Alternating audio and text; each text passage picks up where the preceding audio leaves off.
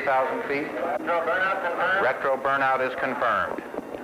400 feet per second vertical velocity. 28,000 feet. Unmanned spacecraft, like this surveyor landing on the moon, are sending back information and pictures that will enable us to send men to the moon and on voyages to more distant planets. We're going to see some of the satellites and spacecraft of the future, and we'll find out how space research is improving life right here on Earth today when Discovery takes a closer look at the busy world of outer space.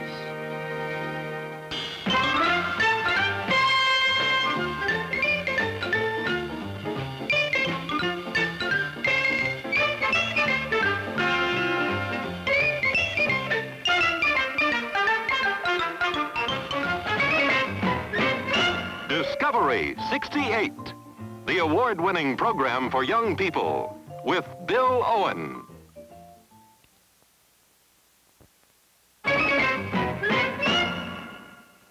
A city on the moon, a lunar base for men to live and work in, is no longer a science fiction fantasy. It's close to becoming a reality. But in order to get this far, we had to find out everything we could about the moon's surface. We sent a series of spacecraft, seven in all, called surveyors to land on the moon and send pictures and scientific information back to the Earth. The surveyor craft are 10 feet high and 14 feet in diameter. Their journey from the Earth to the moon covers 240,000 miles. The 63-hour trip begins with a launch by the Atlas Centaur rocket.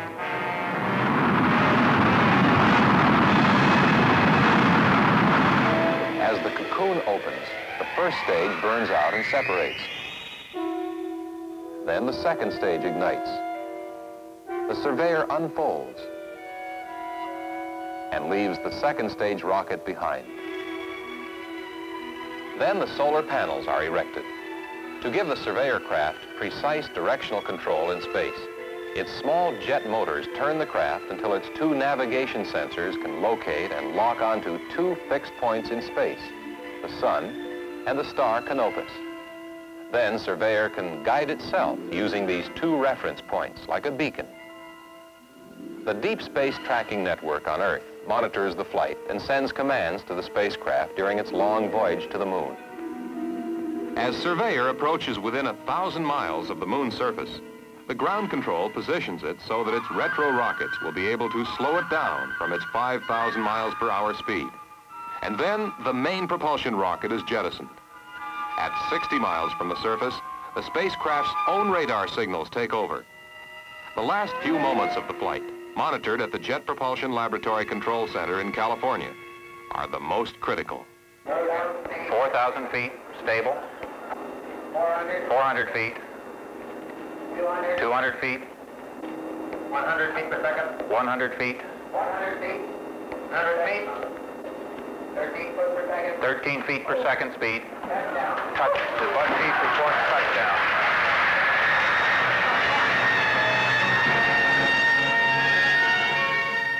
With a perfect landing accomplished, Surveyor's real work begins.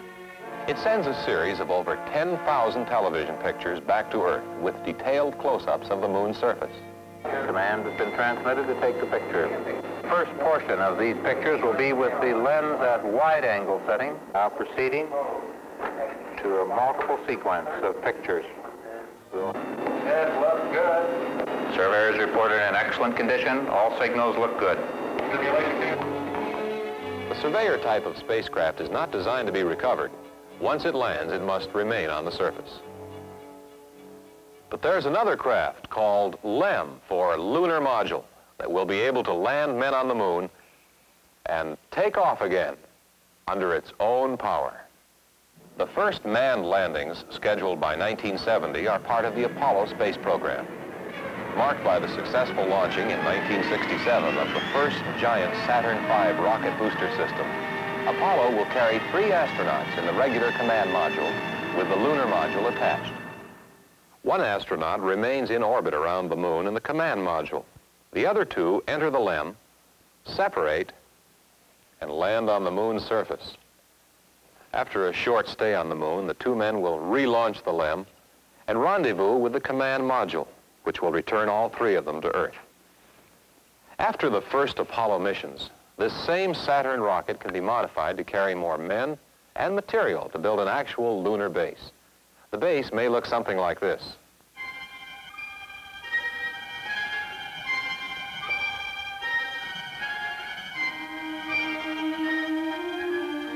Because there's no air on the moon, we'd have to have our own supply. The spacecraft landing port might have a sliding dome to allow men to move about freely as they enter or leave the spacecraft.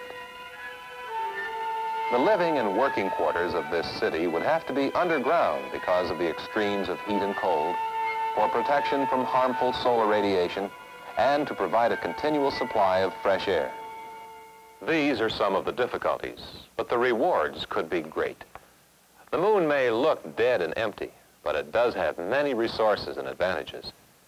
Because of its lack of atmosphere and no wind or turbulence, the moon is a better platform than the Earth for observing outer space. Since its gravity is only one-sixth that of the Earth, it would make an ideal rocket base for launching future explorations. For instance, a rocket that needs 600,000 pounds of thrust when launched from the Earth would need only 100,000 pounds to leave the moon. All of the supplies we need to support life might be manufactured directly from elements that exist in the moon soil. Nuclear or solar furnaces may extract water by heating the rocks of the moon. And by separating the water into hydrogen and oxygen, we could have both a source of power and air to breathe. And we should be able to grow our own food there as well. First, we would bring a small amount of algae to the moon. Algae are small, one-celled green plants that would serve two purposes. They can be made directly into food, and they can also serve as air purifiers. Like most green plants, algae will multiply rapidly and can convert carbon dioxide into fresh oxygen.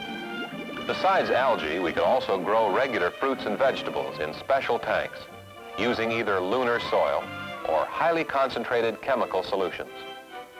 These are called hydroponic farms, and experiments here on Earth have proven that a large amount of food can be grown in a very small area. To do this, the lunar base would need a wide range of chemicals and plant nutrients. Although it may seem strange, the early rocket transports will probably be carrying loads of fertilizer to the moon. At first, almost everything will have to be brought from Earth. But when a moon base becomes self-supporting, it might truly become our ideal stepping stone into deep space. We'll find out how we're going to travel there, and we'll see some of the many unusual ways that space research is helping to improve our life on Earth right now. We'll do that in just a minute.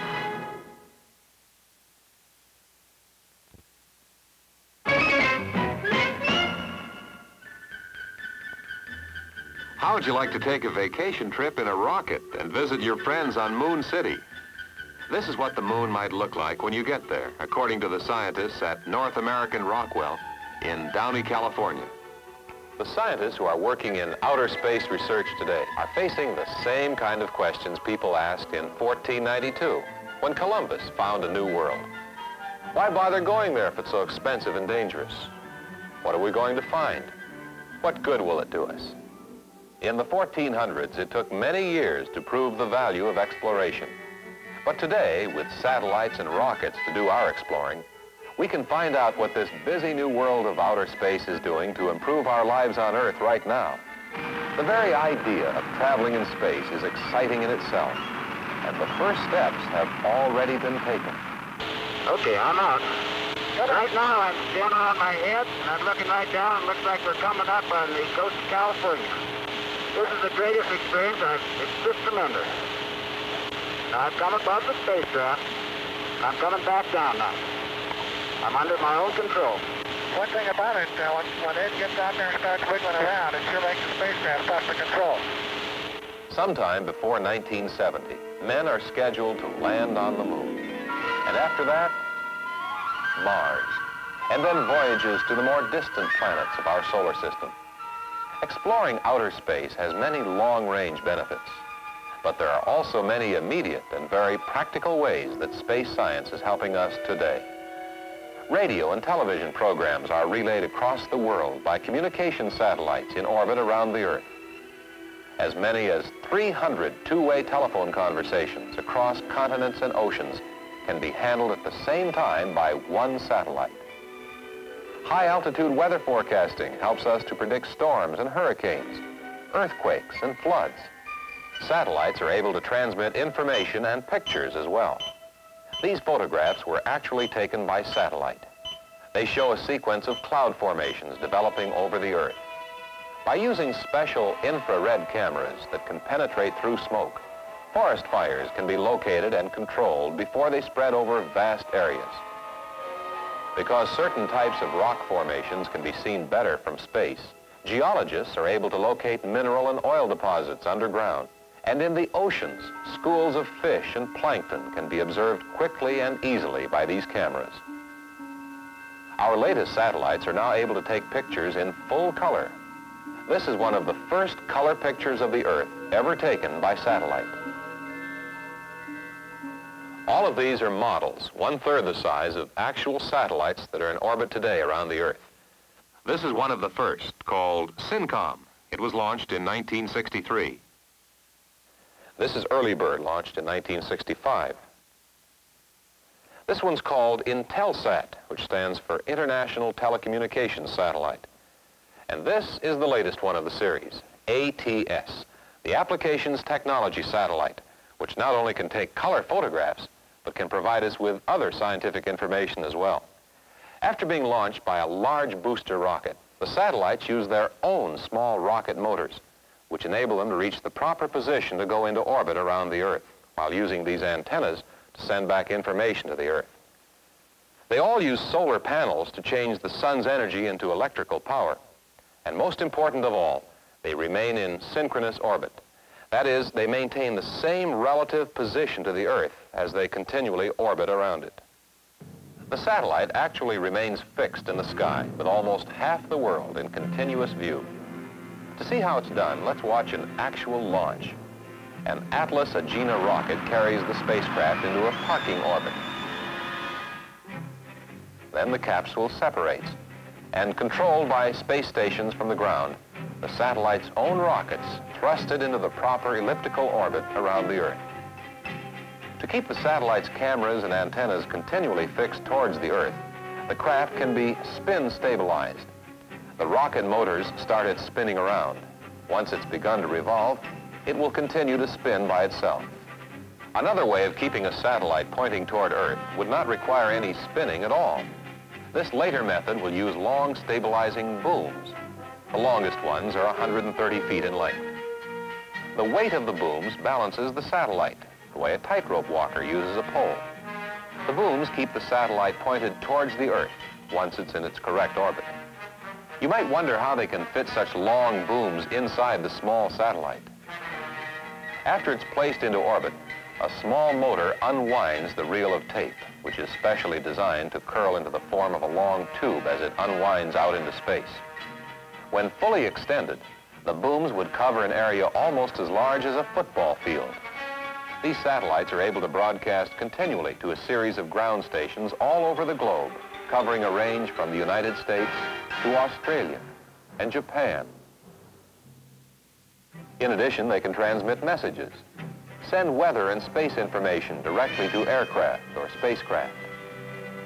More than a hundred different satellites have already been launched by several countries into the busy world of outer space. They're all designed to provide us with information that we can use right now here on Earth. They're also able to tell us what we need to know about space before sending men aloft.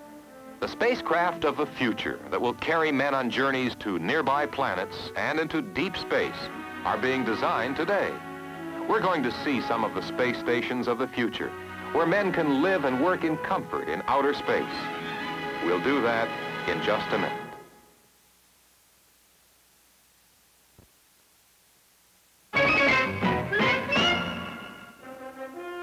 Where do we go after the moon? One of the suggestions for the future is to have a self-contained orbiting space station that could be sent aloft and positioned anywhere we wanted it. Here's a model of a proposed space station that could fit into the same Saturn rocket that carries the Apollo spacecraft. After being placed into orbit and separated from the rocket, the arms of the station would automatically unfold, and lock together in the shape of a wheel. Fully extended, it would be 150 feet in diameter. Small rocket motors would impart enough spin to give the station an artificial gravity. Such a station would serve as a manned laboratory, performing experiments and scientific observations impossible from an Earth base.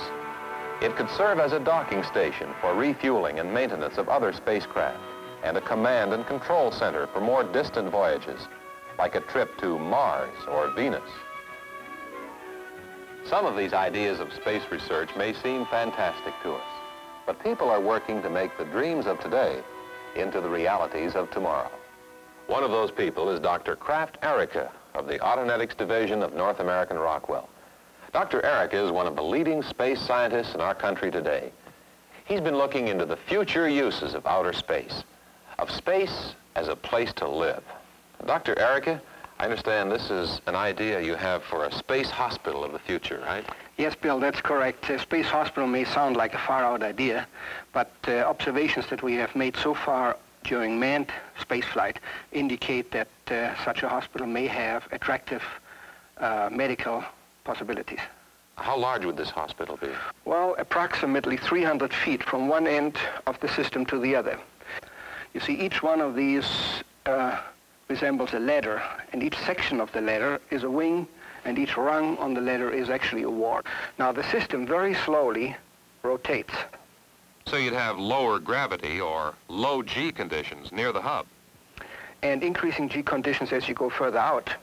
Now, patients who have been treated in the low G wards will gradually be transferred after long stay time in these low G wards into high G wards where they will be reconditioned for existence on Earth. I see. Now, over here we have an enlarged version of one of the hospital wards. Yes, that is correct. You see uh, how this ward ties in with the end beams of the ladder through which the patients would be transported until they get to the ward into which they are delivered. And then they're being transported over here into the ward. Now, this is not a sickbed ward, but a ward in which there's an operating room here in the center. From a medical point of view, what would be the benefits of having a, hospital in outer space? Well, primarily the effect of low gravity, and in addition to this, the effect of vacuum that you have. And you can use this by actually establishing vacuum chambers as you do here on Earth, uh, hyperbaric chambers for delicate heart operations. You can do that in space quite easily, of course, because you are surrounded by vacuum. You just uh, separate one section of a ward and evacuate it. so the emptiness of space actually becomes an asset That is correct. Now, there's something else that fascinates me. This is a design for a space hotel of the future. Yes. Uh, it's a large structure which is actually completely self-sufficient and serves as an orbital tourist facility. Now, where are the actual rooms in this hotel? Well, you see, those light green pods here are 12-story buildings, and each story contains four rooms. Now, Dr. Ehricke, these don't look quite the same as the hotel rooms. Is that something else? Yes, these are hydroponic gardens and animal shelters in which you are actually feeding and raising animals to supply fresh food for the hotel. It would not be economically uh, worthwhile to carry every steak up from Earth. Now, what about these red areas? They simulate conditions on the surface of other planets at the correct gravitational level. So they are uh, part of the tourist facilities and attractions. So you could simulate a visit to Mars or Venus. That is correct. Be quite a vacation. Yes. And if you wanted a hotel room with a view, this would be the ultimate. You have view places here and you look down at the Earth, which is very beautiful. How about the yellow chambers? Are they different from the red? Yes, the yellow chambers are main attractions, uh, dineria in which people under near zero conditions of gravity actually float around and uh, use it in the same manner in which you would use a large swimming pool in a hotel on Earth. The accommodations in the hotel rooms could actually be quite comfortable. Here we have a good view of some of the rooms in our space hotel. That's right, Bill. This is one of the pods, and you see three floors indicated here. Each one consists of four rooms, and you see it has all the conveniences that you would have in an Earth hotel. And here we see the passengers on the space hotel at play in the giant playrooms. That is right. This is the interior of one of the dineria in which you see the people floating around in near weightless condition. You could devise all sorts of interesting games in this state of weightlessness. Yes, in fact, we have thought of many of these, and really the only limit is your imagination. You see, space basically is a very friendly environment. People normally don't think of it in these terms, but consider the fact that there are no winds, there's no rain, there are no bacteria, there's no decay. It is a clean, beautiful environment. It looks as if that world of outer space promises to be very busy indeed. That is correct. Space is basically a friendly environment, and I'm sure many things will happen in it in the future. Well, Dr. Ehricke, you've certainly shown us some unusual ideas for outer space today. Yes, the future promises to be exciting in the busy world of outer space. We'll be back in just a minute.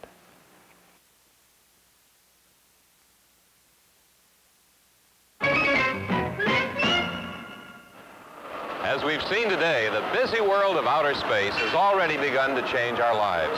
Your television set may have printed electrical circuits, originally designed for spacecraft. We're using midget transistors for tiny portable radios and TVs, powered by long-life nickel or silver cadmium batteries. In communications, weather information, improved crops, and better medicine, the space age has already helped improve our lives here on Earth. In the future, perhaps in 20 or 25 years, you may visit a lunar base or an orbiting hotel. Who knows? There's a whole new world out there waiting to be discovered. If you'd like to find out more about space, ask your librarian for any of these books. Robots in Space by Michael Chester. All About Satellites and Spaceships by David Dietz.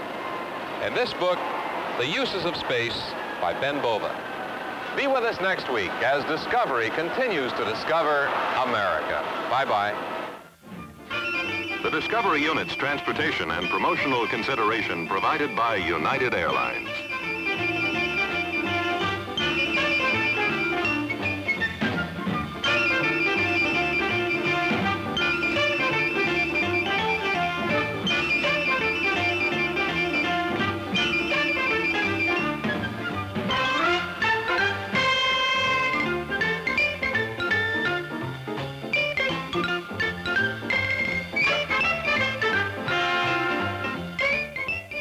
Been a Jules Power production in association with ABC News and Public Affairs.